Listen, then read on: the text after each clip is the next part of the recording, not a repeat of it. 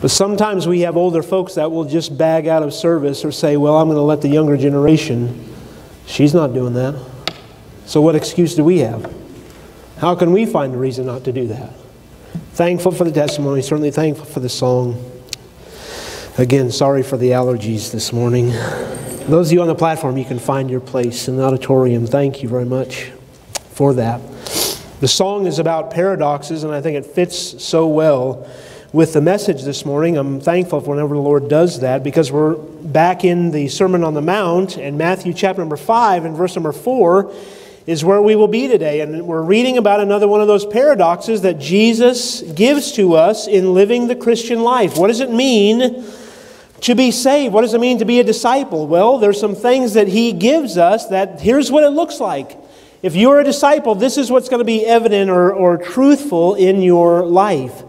If you find Matthew chapter number 5 and verse number 4, if you're physically able, if you'll stand with me, we'll just read one verse and then pray and get into the message this morning. Matthew chapter number 5. In fact, we'll just read, we'll begin reading in verse number 1, but our focus will be verse number 4. seeing the multitudes, he went up into a mountain, and when he was set, his disciples came unto him, and he opened his mouth and taught them, saying, Blessed are the poor in spirit, for theirs is the kingdom of heaven. Blessed are they that mourn, for they shall be comforted. I'm going to speak this morning on the subject Happy are the unhappy. Let's pray. Lord, thank you again for your word. Please help us to learn from it. Please, Lord, help these traits to be found in our life, not just picking out one or two of them. Lord, thinking that we're doing well by doing that. Lord, every single one of these Beatitudes should be in our life. Please help us to realize that and then Lord, where we are lacking, please help us to ask for your help and strength. And Lord, we'll be careful to thank you for it. Lord, maybe there's someone here today that isn't saved. That is, they don't know Christ as their personal Savior. Then please, please do what I can and convict them of their sin. Show them they're a sinner, just like everyone else in this room, like everyone else in the world. And then, Lord, help them to understand the free gift of salvation you want to give to them. And Lord, pray that today might be the day of their salvation. We ask these things in Jesus' name. Amen. Thank you for standing. You may be seated. You ever met somebody that isn't happy unless they're unhappy? Now, I know that's probably no one in here, I'm, I'm certain of it. But you probably have met somebody like I have that just, it doesn't seem like they're happy unless they're unhappy. You know, those people that you, they don't smile unless you flip them upside down and then they finally have a smile on their face. Maybe you've met somebody like this. Again, I know this is no one in here. I'm sure it's nobody in here, but there's people in our lives that if there's not enough unhappiness or there's not enough stuff to be mad about, then they'll drum up their own drama in order to be unhappy. I've met a few people like that. It's not fun to be around those kind of people. I have uh, blessings, little children um, now that are growing up to be bigger children, but when they were younger, and I hate to say it, but even when they're now older, there are times when, um, you know, we will have a discussion with them and they will, especially when they were younger, they put out the pouty lip. Anybody ever uh, remember that when kids put out the, no, I'm supposed to be mad. And then you, you know, because children are given naturally to laughter, I think, and so you stick out your tongue at them or you make a face at them. And they can't keep the frown on their face, you know, they're, they're trying with all their might to be mad and frustrated about what you're telling them to do, and they just can't because, well, I can't stay mad. I mean, you know. But we as adults, we tend to keep the pouty face. And we're better at hiding the pouty lip, but our attitude just isn't what it needs to be. There are people that are like that. And, and you ever sat next to somebody in church that they want to enjoy church and they want to they want to chuckle in church like some of you this morning? They want to chuckle and have fun, but they just they're not going to let themselves do that? yeah, I've met a few of those too. In fact, I may be looking at a couple of them uh, this morning. now, we can laugh a little bit about that and we understand, well, that's silly. Why, who's, who's happy to be unhappy?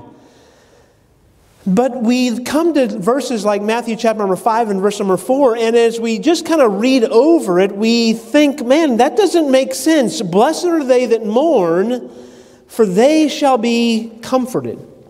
And if we thought verse number three was a paradox, boy, we really are even more so blown over by the, the truth of verse number four. It, it's more shocking to us, I guess we could say. And as we read the verse, it doesn't, again, it doesn't seem to make sense. In fact, it's doing the exact opposite. It, it says the exact opposite of the perspective of the world that you and I live in today. Blessed are they that mourn, for they shall be comforted. That, that doesn't make that doesn't that's not what the world tells us to do. And I think as I read verses like this, I, I think that most people, most of us here this morning, we really want to be happy. There's, there's not really, I would hope, nobody in here that just really says, Man, I really love mourning. I love being sad and being frustrated. I just, I love to have that happen in my life. I hope none of us in here are like that. I think we, we want to be genuinely happy. And it's, it's, if there's one thing that the world tries to get us to not be, it's miserable. The world tells us, and in fact, many of us kind of buy into this fact that if I feel miserable, if I feel unhappy, if I'm, if I'm frustrated about something, or if, even if I'm mourning something, then the best bet for me is to get rid of my mourning, get, to get rid of my frustration, to, to do some, something, some activity, some, some action, be involved in something that, that gets me to not think about my mourning and gets me to forget about that and, and leave that to the side and to do something else that makes me happy. In fact, every advertisement that you will see, every piece of advice that you might get, every conversation seems to be about our current suffering and how many days till vacation till I get to get out of my current suffering. Boy, when I get to the beach, when I get to this hotel, when I get to do this activity, get up in the mountain, whatever, then I'll really be happy. I'll be able to get away from it all. And in our way of thinking, we, we seem to have this understanding that the way to happiness is to have things going our way. That's what many people would tell us. And for many people, favorable things, favorable life, brings happiness, but unfavorable things bring unhappiness. But notice again, verse 4, what Jesus says Blessed, and the word literally is happy. Eternal happiness or, or heavenly happiness, supreme happiness are they that mourn. It doesn't, doesn't make sense. It's almost like, well, wait a minute, that's not even true. Now, listen to what Jesus says. Luke puts it another way in Luke chapter number 6 and verse number 25. Here, listen to what he says Woe unto you that laugh now, for ye shall mourn and weep. In other words, what Jesus is doing in this sermon is he's turning the world's principles upside down. And the way that the world thinks about things, Jesus is saying, no, that is not the truth of the matter. And now we need to remind ourselves as we kind of get back into this Sermon on the Mount that there's a reason why Jesus begins with verse number three. All right, there's a reason why he doesn't just give these, these truths haphazardly. He begins with verse number three for a reason. Blessed are the poor in spirit, for theirs is the kingdom of heaven. All right? As he begins to lay out these beatitudes, there's a reason why they're in this order. They, they build on one another. Okay? So, also, what I need to be reminded of is these Beatitudes. What does that mean? Well, a simple way to understand them is these attitudes are attitudes that should be your attitude. I should be, first of all, poor in spirit. Does that mean I go around with a frown on my face and, and feeling sorry for myself? No. The issue there in verse number three literally is humility. I should not be lifting myself up. I should be poor in spirit, realizing that I cannot please God in any other way than if I humble myself. I realize I can't do anything to save myself. I can't do anything to live the Christian life. I'm powerless to do that. So I have to become poor in spirit. And when I become poor in spirit and realize that I am a filthy, rotten, nasty sinner, and I can't do anything to save my soul, but realize that, chapter 5, verse number 3, that Jesus can. And I put my trust in Him in humility, then the Bible says then you understand yours is the kingdom of heaven. Humble yourself, confess your sins, trust Christ. Yours is the kingdom of heaven. These are things that should be my attitude. So now, then again, verse 4 Blessed are they that mourn, for they shall be comforted. Now, these are not. Uh, these Beatitudes are not ingredients that make up my salvation. Blessed are the poor in spirit, blessed are they that mourn, blessed are the meek. If I'll do these things, then I can be saved. No. The issue is salvation is of Christ, and I trust Him for my salvation. These are attitudes that would come to bring me to Christ, not earning my way to Him. Verse 3 is the perfect beginning, the foundation for the remaining Beatitudes humbling ourselves, realizing I'm not in any way powerful enough to save myself, before I'm able to understand that Christ is completely able to give me perfect righteousness. And remember, that's what the theme of the Sermon on the Mount is perfect righteousness. You can look at verse number 20 again and be reminded of that. Except your righteousness exceed the righteousness of the scribes and Pharisees, you cannot enter into the kingdom of heaven. Verse number 48 be ye therefore perfect, even as your Father in heaven is perfect. The issue is righteousness. Well, how do I get righteousness? Glad you asked. It comes through humility. Verse 4 it comes when I will mourn. Okay, so am I talking about physical mourning here or are we talking about something else? Well, verse 3 is not being poor physically, it's not being in poverty. Remember, it's poor in spirit. So if verse 3 we're talking about spiritual matters, then doesn't it make sense that verse 4 we're also talking about spiritual matters? This is spiritual in nature, and all of these beatitudes are spiritual in nature. A spiritual condition rather than a physical condition. Okay, so then preacher, what does verse number 4 mean? Well, I think there's two aspects to it, and so we just want to talk about those this morning. Number 1, Mourning, in verse number four, is a proper response to my sin.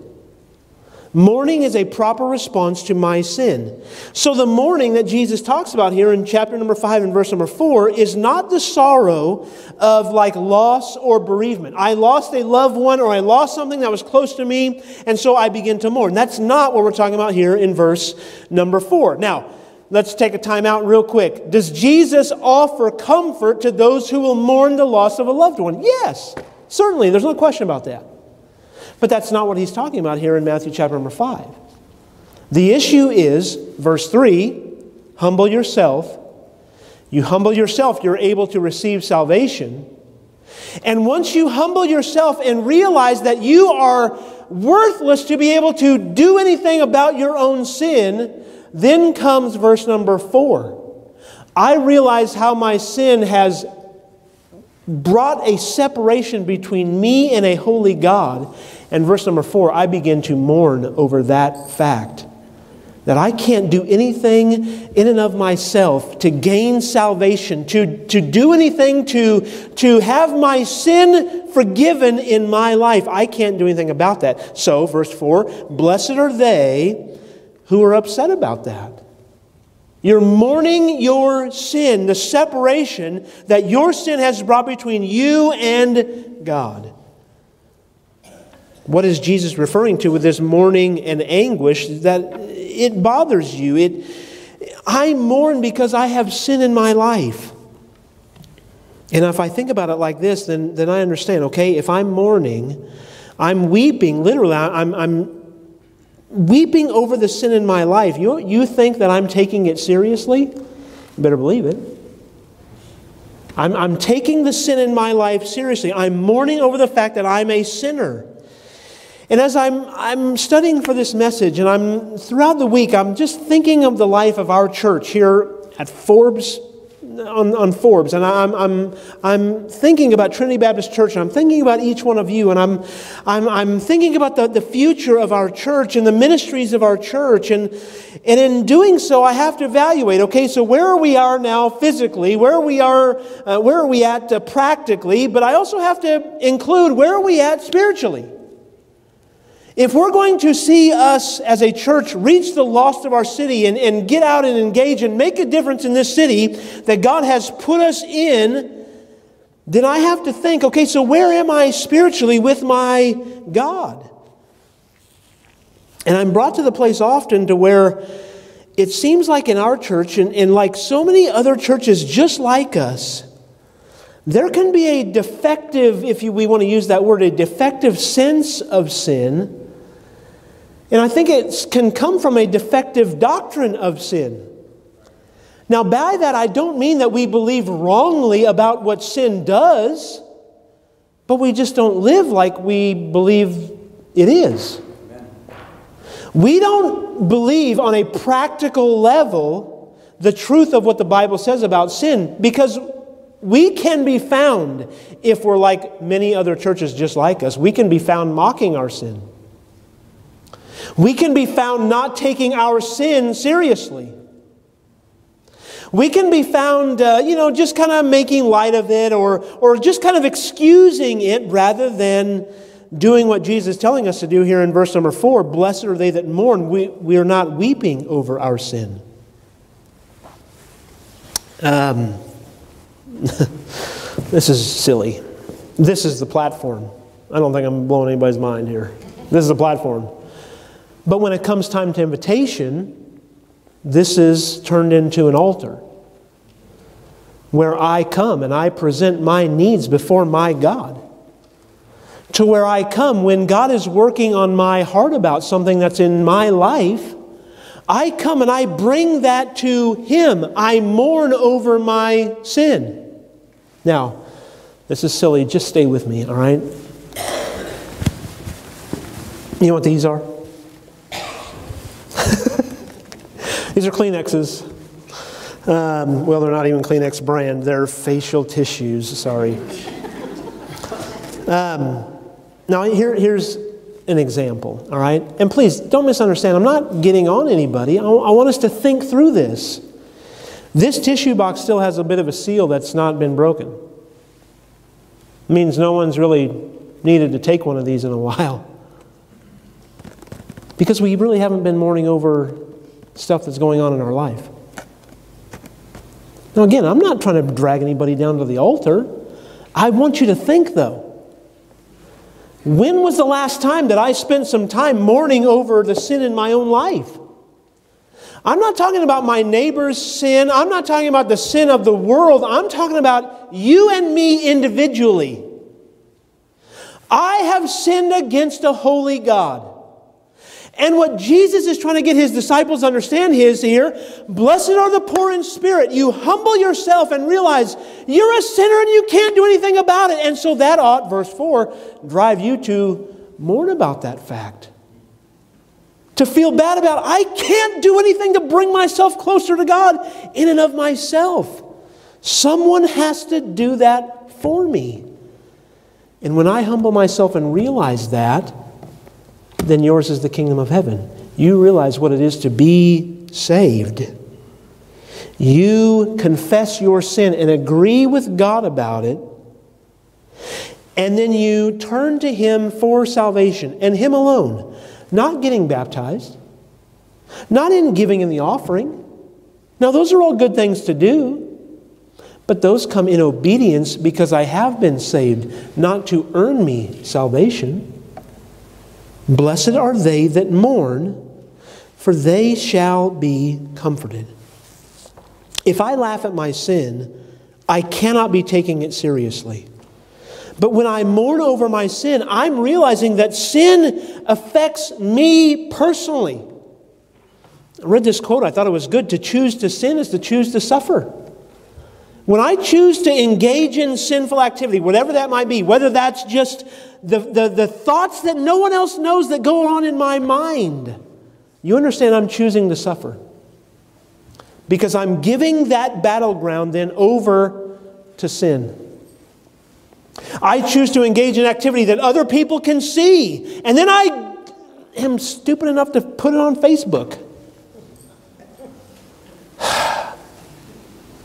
I'm choosing to suffer. And I can't very well post my sin on social media and then get mad when somebody confronts me about it.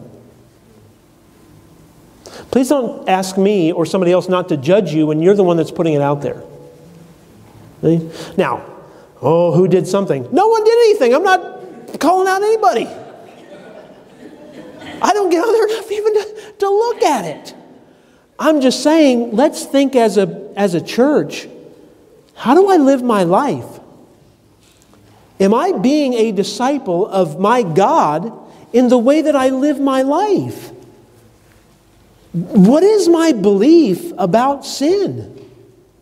Does that cause me to mourn?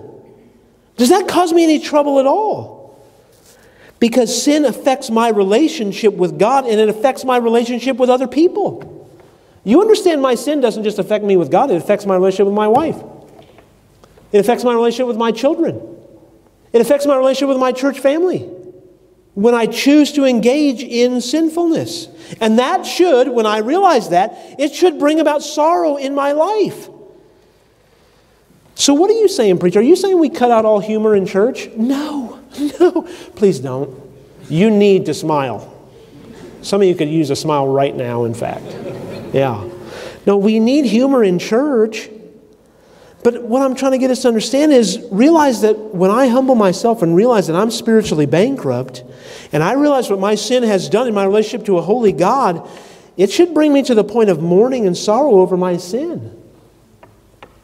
Now, you don't have to turn there, but I want you to just listen to James chapter number 4, verse number 8 through 10. James 4, verses 8 through 10. Now, listen to what James is saying. By the way, who's James writing to? Christian people scattered abroad. Listen to what he says Draw nigh to God, and he will draw nigh to you. Cleanse your hands, ye sinners, and purify your hearts, ye double minded. Be afflicted and mourn and weep. Let your laughter be turned to mourning and your joy to heaviness. Humble yourselves in the sight of the Lord, and he shall lift you up. Now, to me, that sounds like Matthew chapter 5, verses 3 and 4. It sounds exactly what, like what Jesus is saying here. And I can't help but wonder that if in our churches today, in general, and, and by the way, preachers can be guilty of this, we make so much of grace that we make light of sin. Now, I want to make sure I'm very well understood on this. Am I thankful for grace? You better believe that I am. Holy smokes. Without grace, I have no reason to even stand before you this morning. We sing the song, Amazing Grace, that saved a wretch like me. I am so amazed at grace. I'm so thankful for God's grace in my life. We ought to choose to celebrate God's grace every day that we take breath. I'm thankful that I'm not under the law, but I'm under grace. But in my desire to celebrate grace, I can bypass or overlook sin because I can start to get the mindset that, well, I can just confess that and everything will be okay. Okay, can I confess my sins and God forgives every one of my sins? Yes, yes, no question about that. But I ought not sacrifice the, the effect that sin has on my life or on your life by just saying, well, it's under grace. I ought not cheapen grace by doing that. I ought to have my sin affect me to the point where it brings me to some mourning. Lord, I am so sorry for the sin that I've committed against you. We've long since left weeping at the altar as, as we realize the weight of our sins and realizing that we can rise up in joy at the remembrance of the grace that God gives to us because the world doesn't get upset about its sin. In fact, the world celebrates its sin.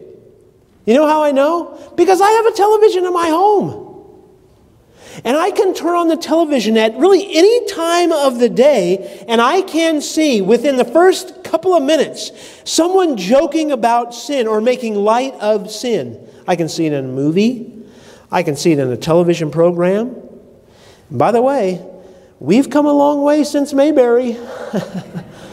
yeah. Okay, now, Opie, tell the truth about killing the bird in the tree. We're far from that. Now we're making light of all kinds of wickedness. The world doesn't mourn over its sin, the world is laughing about its sin. In fact, we can make the case that the world has gone to great lengths to try to legalize its sin. Now, I want to take just a minute and, and say this. We can gripe about our country and our city a lot, but you and I need to be also encouraged by good pieces of legislation and good Christian legislators and lawmakers who will take a stand for what is right. We need to be thankful for them. We need to be praying for them. And we need to be praying that God would rise raise up more of them. We need to be thankful for those kinds of people. But we also need to understand that where we have allowed ourselves to get to as a nation is that it's still legal in our country to murder infants. It's still legal to do that. We have legalized drug use. We've legalized gambling. Uh, by the way, haven't we all been encouraged to uh, participate in our own Texas lottery? and then the guy at the end says, if you struggle with gambling, you need to see whatever. And so our government has taken monies and they've legalized gambling, and then they make money off of it, off the backs of its own people. And then they use some of those same monies to come up with institutionalized programs for those that struggle with gambling. Does that not cause anybody any kind of problem? We've legalized things like this. We've legalized pornography and we call it freedom of expression. We, we legalize homosexual marriage and we could go on and on and on and on, but it's easy for us to stand in a pulpit or to stand out in the foyer and complain about our nation, complain about our city, or complain about all kinds of things, but we need to stop and remind ourselves that lost people act like lost people. I can't expect lost people to act like saved Christian people. So the question then comes when I read Matthew chapter number 5 then is what is my response? What am I doing personally about my sin? And I'm not saying we shouldn't call out sin in our world or that we shouldn't speak out against certain issues. But let's turn the table and seriously ask what am I doing about my sin? What is, what is in my life personally that God needs to deal with and I need to confess before Him? Because it's easy for me to, to point fingers.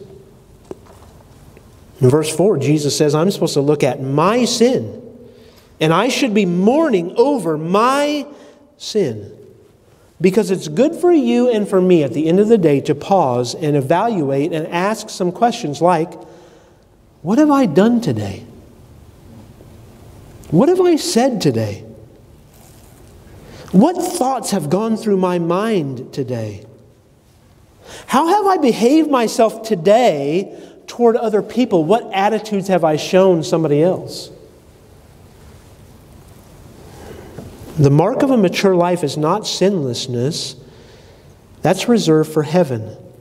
The mark of a mature life in Christ is a growing awareness of my sinfulness, realizing how much sin I really commit on a daily basis, and realizing I can't do anything to stop that apart from God's grace in my life. I don't just gain salvation or justification by any way through Christ alone, but through Christ alone. I, I gain salvation through Christ and Him alone. But I gain sanctification and awareness of my sin in verse number four also by Christ alone. I need His help in my life for salvation. I need His help in my life for sanctification, to grow closer and closer and closer to Him.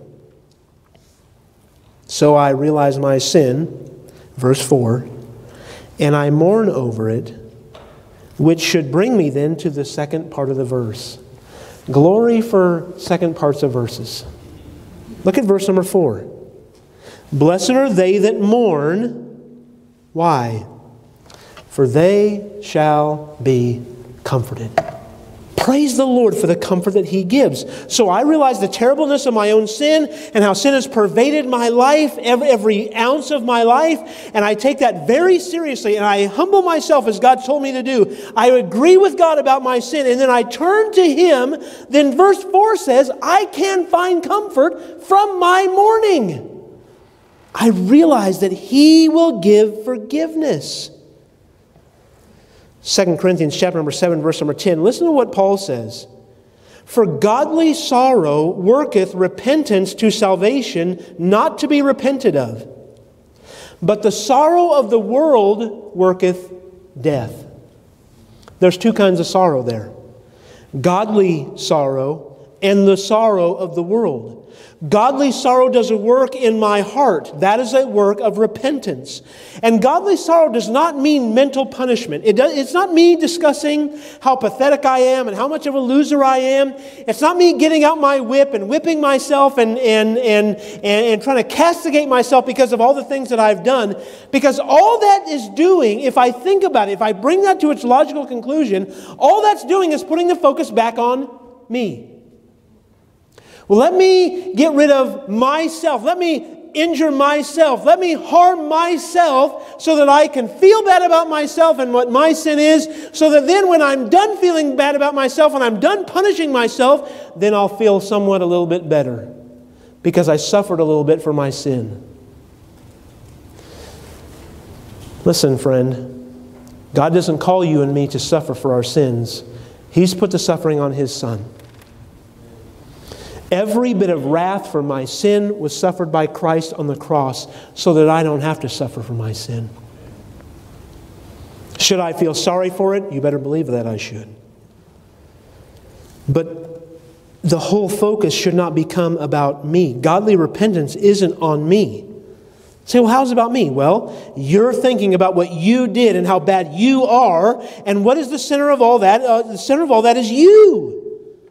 The focus of godly sorrow is not you, the focus of godly sorrow is Almighty God. He's the standard. He's the one that I'm comparing myself to. And so when he says in verse number 48 of Matthew chapter number 5, Be ye therefore perfect, even as your Father in heaven is perfect, I can't do that. He has to make me to be like him. And when I humble myself, he said, I'll forgive your sins, child, and I will make you to be righteous, holy in my sight, so that every sin, past, present, future, is forgiven. I don't know about you, but that's comforting to me. Thankful for that fact. And those of us who are Christians, we understand the eternality of our salvation. That is, since I've trusted Christ for salvation, and no part of salvation is up to me, not earned by me, nor is it kept by me. I cannot lose it somehow. But sin does affect my fellowship with my God. Sin does affect my closeness with God. And when I realize what I've done to, to, the, to the heart of God, in breaking fellowship with Him in my sin, it ought to cause, cause me to mourn. It ought to cause me even to weep over that broken relationship. Because worldly sorrow hates just the consequence of sin. Worldly sorrow hates getting caught. Godly sorrow hates the very sin that you've committed. When I'm sorrowful in the Lord, I'm sorrowful for even committing the sin. And when God is my chief concern, I can have the happiness that he mentions here in verse number four blessed. Eternally, forever happy are they that mourn, for they shall be comforted. Because as Jesus says in these paradoxical statements, the negative has to come before the positive. Some of you have gone through surgery you know what surgery is, really is you're telling the doctor you're willing to be wounded so that you can be healed. You think about your Christian life, that's exactly what a humble spirit has to say. I'm willing to be wounded. I'm willing to mourn over my sin and feel sorry for it and realize I can't do anything to, to, to help myself. And so I'm willing to be wounded over that. I'm willing to mourn over that so that I can be healed, so that Christ can come and forgive. Every sin, every stain can be blotted away. And the idea of godly sorrow is exactly the same. I have to be willing to mourn over my sin that I've committed so that God can come and He can bring me comfort. And I'm telling you, that is exactly contrary to the way that the world we live in understands how I should live my life. They don't want to face their sin. And if you don't face your sin, you'll never experience God's healing and God's grace in your life. So, how does it happen? Three quick ways, and we're, we're done. Number one starts with regret. Regret has to do with my mind. I'm remembering what I'm sorry about. Then it continues with remorse. I'm now moving from head level, regret. I'm moving to heart level and remorse. I'm truly remorseful for my sin. And then it finishes with repentance, a change of mind that leads to a change of action. I realize what my sin has done, and I agree with God about my sin, and I confess it, and then I desire to do differently with my life. And this is the place, Matthew 5, verse number 4, this is the place where comfort comes in my life. Blessedness, happiness doesn't come in the mourning itself, it doesn't come in my regret and remorse. Comfort comes from God's response when I regret it, I'm remorseful, and I repent of it. That's when God's blessing comes. So, verse 3 you recognize your spiritual bankruptcy before God. You experience godly sorrow, verse 4, and then God gives you the joy of becoming clean. And that is the joy that the world knows nothing about. Does God really forgive my sin when I mourn over it and I confess it? Yes. There's got to be something else there. No? No? I realize what my sin has done. I regret it and I'm remorseful of it, and then I repent of it. And God says He'll be faithful every time to forgive it. You remember Jesus begins to preach in his earthly ministry, and he is given the scroll, and it's amazing how the scroll is, is right at Isaiah chapter number 61. Here's what it says The Spirit of the Lord God is upon me, because the Lord hath anointed me to preach the good tidings to the, unto the meek. He has sent me to bind up the brokenhearted, to proclaim liberty to the captives, and the opening of the prison to them that are bound, to proclaim the acceptable year of the Lord, and the day of vengeance of our God, to comfort all that mourn to appoint unto them that mourn in Zion, to give unto them beauty for ashes, the oil of joy for mourning, the garment of praise for the spirit of heaviness, that they might be called trees of righteousness, the planting of the Lord, that he might be glorified. See, God says, I'm come. I know you're mourning over your sin. I'm come to give you deliverance from that. 2 Corinthians chapter number 1 verse number 3 listen to what he says. Blessed be God even the father of our Lord Jesus Christ the father of mercies and the God of all comfort. That's who God is. There is such joy and forgiveness that there's wonderful comfort in knowing that, that God will take me back after I have fallen once again. Why I love pastoring and there's nothing like the joy of seeing salvation come about in somebody's life. I, I love seeing a parent and a child who were at odds with one another get reconciled back together. I love seeing that.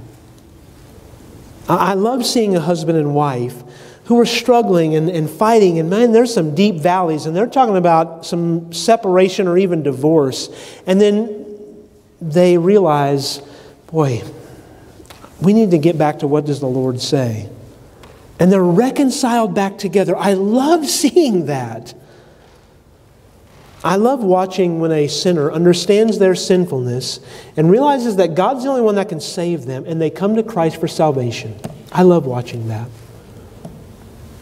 And then that sinner does what we might call backsliding or, or going opposite of the way the Lord would have them to go. And God works in their life, and every time that sinner comes back to God, God welcomes them back with open arms. I love seeing that. Point relief is available from sorrow. And so Jesus says in Matthew 5 godly sorrow brings forgiveness, which brings, the very first word, blessedness, happiness, joy. Verse 4 doesn't make sense when you first read it. See, I want pain free days, I want worry free days. But Jesus says exactly the opposite. read you a poem as we conclude. Robert Browning Hamilton wrote this poem. You may have heard it before, it's very short. I walked a mile with pleasure. She chatted all the way, but left me none the wiser for all she had to say. I walked a mile with sorrow, and narrow words said she. But oh, the things I learned from her when sorrow walked with me. See, I can learn a lot by realizing what my sin has done and the sorrow that that causes in my heart. I've sinned against my God. And I mourn over that. And when I humble myself and mourn over that, and I take my sin seriously, then I can find comfort. That's when God says, Child, you can be comforted. There's forgiveness full and free if you will just come to me. Two questions. Number one, when's the last time you mourned over your sin? When's the last time you mourned over your sin? Or have you got in the habit of dismissing it or making light of it? Number two, do you long for comfort and happiness in this life? Because Jesus said in Matthew 5 that the path to comfort and happiness comes through mourning over your sin, because then that's where you find restoration and forgiveness. Boy, peace comes when I'll just do what the Lord wants me to do. But if I fight and scratch and claw and try to go my own way, I'm asking for nothing but trouble. There's no peace there. Maybe you're here today and you don't know Christ as your personal Savior. You've never humbled yourself and confessed your sins before God. Today you can, and we'd love to show you how you can know for sure. Maybe you're a Christian here today and it's been a long time since you mourned over your sin. And please, I hope you understand, I'm not trying to drag anybody down to this altar, but I want to help you. I want to pray with you. I want to see you understand the comfort that comes when you confess your sins before your God. What a great, great life that is. Let's bow, please, for prayer. Lord, please help us to be found certainly humbling ourselves, but Lord, mourning over our sin, taking our sin seriously, and realizing, Lord, that I I can't do anything to bring comfort in my life. I can't erase or blot out the sins in my own life. Only you can do that. And so, Lord, those thoughts that I have, those actions and attitudes that I have on a daily, weekly, monthly, yearly basis, Lord, please help me to take those things seriously and not just excuse them or even make light of grace by continuing in them Lord, help me be, please to be found mourning my sin, taking it seriously, because then you said, you promised there's comfort there. And Lord, we'll thank you for the help that you give. Heads are bowed, eyes are closed. If you're ready for baptism, you can go now and, and we'll be ready just for baptism right at the end of our invitation. But maybe here today and you don't know Christ your personal Savior. Maybe you've never understood that you're a sinner, but that Christ wants to give you, give you salvation if you'll come and humble yourself before Him. Today you can know that. You're here today and no one's looking around just between you and me and the Lord, of course, you just lay your hand long enough for me to see it. Preacher, would you pray for me? I don't know for sure that I'm saved. I don't know that I have forgiveness of sins. Anyone at all, you just be honest enough to lift your hand long enough for me to see it, put it right back down. Preacher, would you pray for me? I don't know for sure that I'm saved. Anyone at all? Preacher, pray. I'm not certain that I'm saved. Anyone at all? All right, then, Christian, how about you? When have you mourned over your sin? Do you take it seriously? Do you understand the separation that it brings between you and your God? When's the last time you humbled yourself before God and said, Lord, I'm sorry. I agree with you about this. And then rest in His forgiveness and the comfort that He gives. In just a moment, we're going to pray. We'll stand to our feet. Whether you raise your hand or you didn't, you need to come forward. The altar is open. Whatever the need, the Lord speaks, obey the Lord and come. Lord, please help them in time of invitation. Strengthen Christians. Help them, please, to take this matter seriously. Not that we don't have fun or enjoy the Christian life. That's not what we're saying at all. But Lord, there comes a time in our life when we need to take things seriously. So please help us. If it's been a long time, please help us to make that decision. Lord, maybe there's someone here today that didn't raise their hand. Maybe they were embarrassed or didn't know what they needed to do.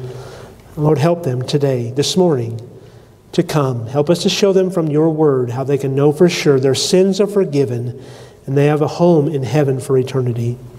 Lord, you want to give that to them by grace. Help them to make that decision. We love you. We ask it in Jesus' name. Amen. Let's stand to our feet.